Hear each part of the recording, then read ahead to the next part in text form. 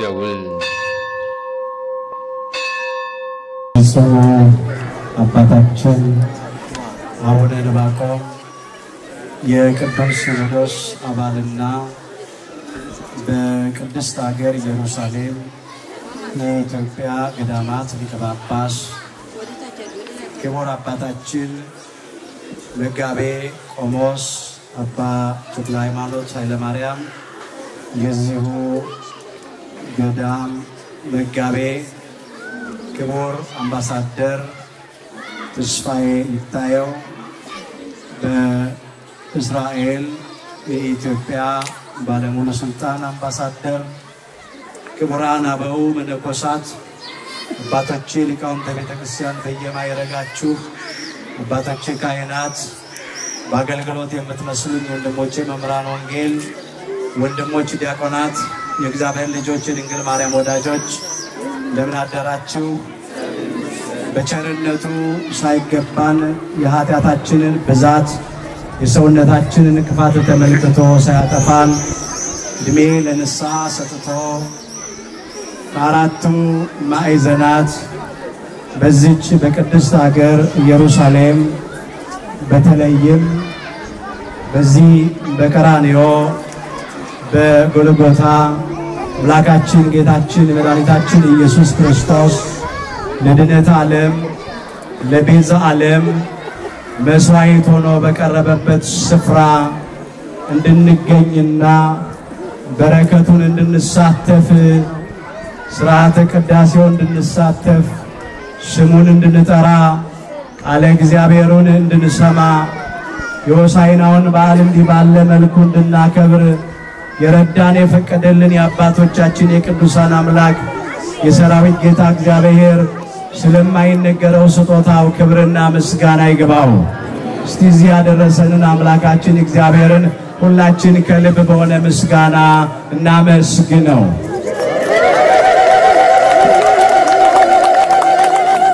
በቅድሚያ አምላካችን እግዚአብሔር ሁላችንን በቸርነቱ ጠብቆ እንኳን ለብርሃነ ሆሳዕናው በዓል በሰላምና በጤና አደረሰን አደረሳችሁ። በደንብ አድርጋችሁ አመስግኑ። ሆሳዕና የምስጋና ቀን ነው። ሕፃናቱ ሆሳዕና በአርያም ሆሳዕና ለወልደ ዳዊት እያሉ አመስግነዋል። ቡሩክ ዘይመጽእ በስመ እግዚአብሔር እያሉ አመስግነዋልና ለሶስተኛ ጊዜ በደንብ አድርጋችሁ አመስግኑ። በርዷቸው መሰለኝ። የእናታችን የእመቤታችን የቅድስተ ቅዱሳን የድንግል ማርያም የወላዲተ አምላክ ረድኤትና በረከት ለዘላለሙ በሁላችን ላይ አድሮ ይኖር። በሚኖረን በጣም ጥቂት ደቂቃ ሆሳዕና በሚል ርዕስ እንማራለን። ብዙ ታሪክ መተረክ አይቻልም። የዓመት ቀለም ነው። ታሪኩ በጣም ብዙና ሰፊ ነው። ብዙ ምስጢርም ደግሞ ያዘለ ነው። ነገር ግን ሆሳዕናን ብቻ ባጭሩ አንስተን ትምህርታችንን እንጠቀልለዋለን። ሆሳዕና ሆሳዕና በአርያም ሆሳዕና ለወልደ ዳዊት እያሉ ንጽሐ ጠባያቸው ያላደፈባቸው ሕፃናትና ሕዝቡ አመስግነዋል። አራቱም ወንጌላት በአራቱ ወንጌላውያን የተመዘገቡት ማለት ነው። ወዴት እያደረግን ሲነበቡ ተከታትለናል።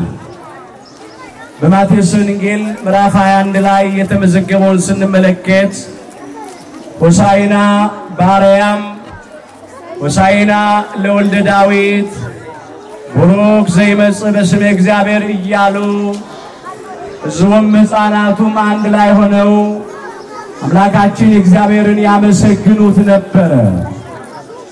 ሆሳዕና የሚለው ቃል የጥንት አረማይክ ወይም የዕብራይስጥ ነው። ሆሻና ይለዋል። ይኸውም አሁን አድን ማለት ነው። አሁን አቅና ማለት ነው። እንግሊዞቹም save now ይሉታል። አሁን አድን፣ save us፣ አሁን አድነን። we pray እኛ እንጸልያለን። እኛ እንለምናለን ብለው ያነሱታል። አባታችን ክቡር ዳዊትም አስቀድሞ ዘምሮታል። ኦ እግዚኦ አድህንሶ ኦ እግዚኦ ሰርህሶ እያለ ዘምሯል።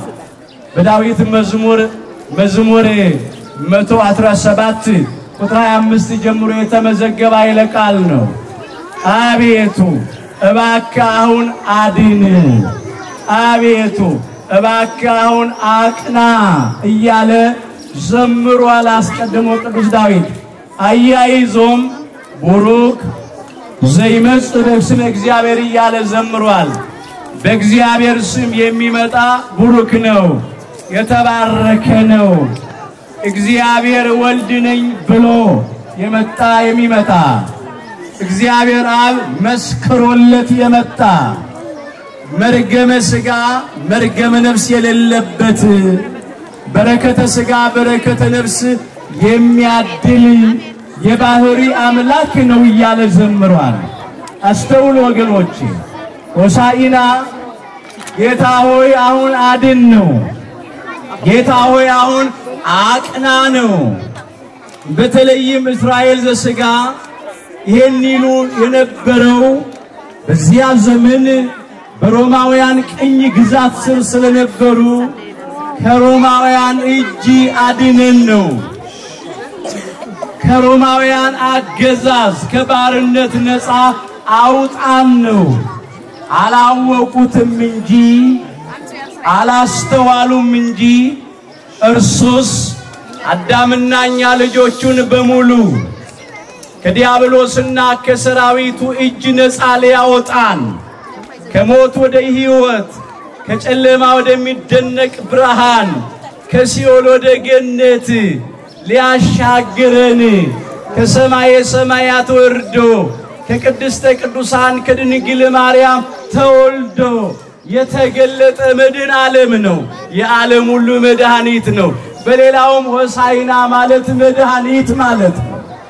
ሆሳዕና ለወልደ ዳዊት ለዳዊት ልጅ መድኃኒት መባል ይገባዋል። ለምን? መድኃኒተ ሥጋ ወነፍስ ነውና። ሆሳዕና በአርያም አርያም ማለት ሰማይ ማለት ነው። ከፍ ያለ ስፍራ ማለት ነው።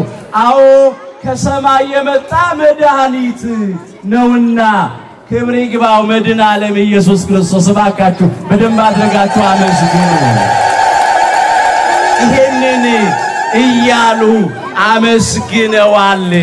በእውነት አምላካችን ጌታችን መድኃኒታችን ኢየሱስ ክርስቶስ አዳምና ልጆቹን በሙሉ ከመርገመ ሥጋ ከመርገመ ነፍስ አድኖናል። ከሞተ ሥጋ ከሞተ ነፍስ አድኖናል። ከርደተ መቃብር ከርደተ ሲኦል አድኖናል። ከሞት ወደ ሕይወት ከጨለማ ወደሚደነቅ ብርሃን ከሲኦል ወደ ገነትም አሻግሮናል። ጌታ ሆይ እባክህ አሁን አድነን። ጌታ ሆይ እባክህ አሁን አቅና እንዳሉ አድኖናል፣ አቅንቶናል፣ ታድጎናል፣ ቤዛም ሆኖልናል። ሆሳዕናውን ስናከብር እኛም ደግሞ ልናስብ የሚገባው ነገና በአርያም እያሉ አመሰገኑት። ብሩክ ዘይመጽእ በስመ እግዚአብሔር፣ በእግዚአብሔር ስም የሚመጣ ብሩክ ነው እያሉ አመሰገኑት፣ ዘምሩለት ይላል። ዘንባባ ብዙ ምክንያት አለው። በመጀመሪያ የደስተኞች ምልክት ነው። አብርሃም ይስሐቅን በወለደ ጊዜ ይስሐቅ ያዕቆብን በወለደ ጊዜ ደስ ቢላቸው የዘንባባ ዝንጣፊ ይዘው እግዚአብሔርን አመስግነውታል። በመጽሐፈ ኩፋሌ ምዕራፍ 13 ቁጥር 21 ላይ ተመዝግቧል። ሌላው እስራኤል ዘሥጋ ከሚያከብሯቸው በዓላት መካከል አንዱ የዳስ በዓል ነው። ከግብፅ ከባርነት ቤት ነፃ ወጥተው ወደ ምድረ ርስት ወደ ከነዓን እኛ ወዳለንባት ወደ ኢየሩሳሌም በሚጓዙበት ጊዜ መንገድ ላይ በዳስ ያድሩ ነበረ። ስለዚህ የዳሱን በዓል ሲያከብሩ ሰባት ቀን የዘንባባ ዝንጣፊ ይዘው እንዲያመሰግኑ ታዘዋል። በኦሪት ዘሌዋውያን ምዕራፍ 23 ቁጥር 40 እና በመጽሐፈ ነህምያ ምዕራፍ 8 ቁጥር 10 ላይ ተመዝግቧል። ሌላው ዘንባባ የድል አድራጊዎች ምልክት ነው። ዮዲት የእስራኤላውያንን ጠላት ሆሎፎርኒስን ድል ባደረገችው ጊዜ የዘንባባ ዝንጣፊ ይዘው እግዚአብሔርን አመስግነውት እናስረዋለን፣ አናፍርበትም።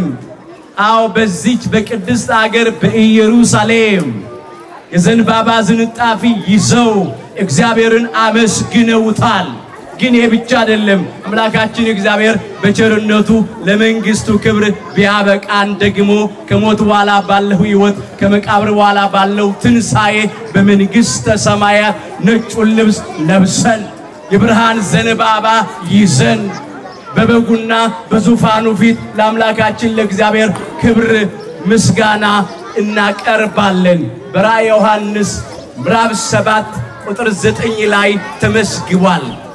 ከነገድ ይላል፣ ከወገን ይላል፣ ከቋንቋ ይላል፣ አንድም ሰው ሊቆጥራቸው የማይችል ይላል። ብዛታቸውን ነው የሚያመለክተው። ሃይማኖታቸውን ያጸኑ ሰዎች፣ ምግባራቸውን ያቀኑ ሰዎች፣ ለንስሐ የሚገባ ፍሬ ያፈሩ ሰዎች፣ የአምላክን ቅዱስ ሥጋና ክቡር ደም የተቀበሉ ሰዎች፣ የተዘጋጁ ሰዎች ማለት ነው። በበጉና በዙፋኑ ፊት ይላል። በጉ ያለው ሆሳዕና ሆሳዕና ለኢትዮጵያ ሆሳዕና ለዓለም ሕዝብ ሁሉ ሆሳዕና ጌታ ሆይ እባክህ አሁን አድን፣ ጌታ ሆይ እባክህ አሁን አቅና ነው። እንዲህ ማለት ያስፈልጋል። እኛም አድነን እንበል። ባለብዙ መከራዎች ነን፣ ባለብዙ ችግር ነን፣ በብዙ ጭንቀት ውስጥ ነው ያለነው። ግራ ገብቶናል። እርስ በርስ እየተለያየን፣ እርስ በርስ እየተባላን፣ እርስ በርስ እየተነካከስን፣ እርስ በርስ በጦርነት ውስጥ ነው ያለነው። አሁን ጌታ ሆይ እባክህ አድን፣ ጌታ ሆይ እባክህ አሁን አቅና ብለን እግዚአብሔርን እንለምነው። እንደ ቀድሞ ዘመን እንደ አንድ ልብ መካሪ እንድንሆን፣ እንደ አንድ ቃል ተናጋሪ እንድንሆን እግዚአብሔር በፍቅር እንዲያኖረን መለያየትን አርቆ መስማማትን እንዲሰጠን ቂም በቀለኝነትን አርቆ ይቅርባይነትን እንዲያድለን መቃቃርን አርቆ መፈቃቀርን እንዲሰጠን በቃችሁ እንዲለን የቆረጥነውን ተስፋችን እንዲቀጥልልን የመከራችንን ዘመን እንዲያሳጥርልን ሐዘናችንን ለደስታ ልቅሷችንን ለሳቅ እንዲቀይርልን ጌታ ሆይ እባክህ አሁን አድነን እንበለው። አቤቱ እባክህ አሁን አቅና አቅናልን እንበለው። ተቸግረናል፣ ግራ ገብቶናል። ምን ልንገራችሁ? ሰው ያወቀው ፀሐይ የሞቀው የአደባባይ ምስጢር እኮ ነው። ዘመኑ ራሱ ይናገራል። የተገለጠ ነገር እኮ ነው፣ የተሸፈነ ነገር እኮ የለም። አሁንም አምላካችን እግዚአብሔር ከመከራ ሥጋ ከመከራ ነፍስ ያድነን። ከረሃቡ ከኑሮ ውድነቱ ያድነን። ከበሽታው ያድነን። በገዛ አገራችን ስደተኛ ከመሆን ያድነን። አሁን እኮ ስጋት ነው፣ ወጥቶ ለመግባት ስጋት ነው። ዓለም አንድ መንደር ነው። መቼስ ታዩታላችሁ፣ ትሰሙታላችሁ። አሁን ሆሳዕና የልምድ ብቻ መሆን የለበትም። ሆሳዕና ከልብ መሆን አለበት። ሆሳዕና ከንባ ጋራ መሆን አለበት። አዎ አሁን አድነን፣ አሁን አቅናን፣ ታረቀን፣ ማረን፣ ራራልን፣ ይቅር በለን እንበለው። አዎ ስንቱን ልንገራችሁን፣ በጣም ያስጨንቃል። እስቲ በሉ ከኔ ጋራ በተጨነቁ ጊዜ በሉ ወደ እግዚአብሔር ጮኹ ከመከራቸውም አዳናቸው። የዳዊት መዝሙር መዝሙር መቶ ስድስት ቁጥር ስድስት ላይ ተመዝግቧል። እስራኤል ዘሥጋ በተጨነቁ ጊዜ ወደ እግዚአብሔር ጮኹ፣ እግዚአብሔርም ከመከራቸው አዳናቸው። አዳምና ልጆቹ በተጨነቁ ጊዜ ወደ እግዚአብሔር ጮኹ፣ ወደ እግዚአብሔር ጮህን፣ አምላካችን እግዚአብሔርም ከመከራ አዳነን። ከፍዳ ከኩነኔ አዳነን። ከሞተ ሥጋ ከሞተ ነፍስ አዳነን። ከርደተ መቃብር ከርደተ ሲኦል አዳነን። አሁንም ኢትዮጵያውያን ተጨንቀናል፣ ግራ ገብቶናል፣ ማጣፊያ አጥሮብናል፣ በሞት ጥላ ተከበናል፣ ዙሪያው ገደል ሆኖብናል፣ ቀኑ ጨልሞብናል። ስለዚህ ምን እናድርግ? ወደ እግዚአብሔር እንጩህ። በተጨነቁ ጊዜ ወደ እግዚአብሔር ጮኹ፣ ከመከራቸው ማዳናቸው። በግል ካለብን መከራ፣ በማህበረሰብ ካለብን መከራና ችግር፣ በቤተሰብ ካለብን ፈተና፣ ችግር፣ ጭንቀት እንደ ሀገርም ከገባንበት ውጥንቅት፣ መከራ፣ ጭንቅ፣ ስቃይ በቤተ ክርስቲያናችንም ላይ ያለውን መከራ፣ ፈተና ሁሉ አምላካችን እግዚአብሔር ያርቅልን። ደውል